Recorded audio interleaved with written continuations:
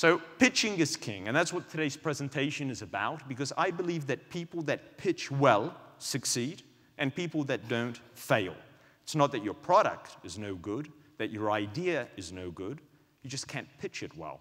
And you never have a ticket to the game because the pitching isn't there to progress it to the next stage. So I'm going to cover off with you three things ingredients of a great pitch, and I'll share some stories with you that are close to my heart, common mistakes, usually not having the key ingredients, and then I'll talk about the holy grail of pitching, the, most, the, the, the best kind of pitch that you could have that will really resonate and grow your business.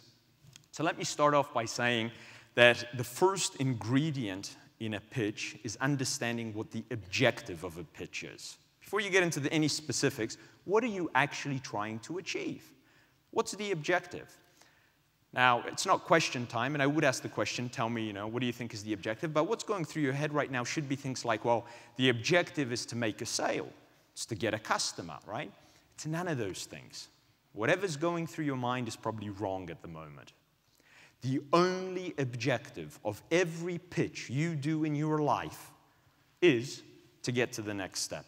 That's the only objective, period. There is no other objective than this for every pitch you ever do.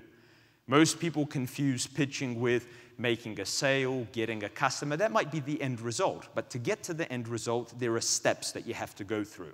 If I meet you and I ask you 10 seconds later to become a customer, I don't have a business at the moment, but if I did, you'd probably say no, because I haven't followed all of the steps between the introduction and a purchase order at the end.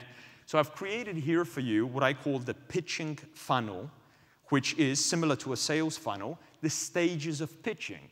And you begin with a very simple elevator introductory pitch, the objective of which is to get to the next stage.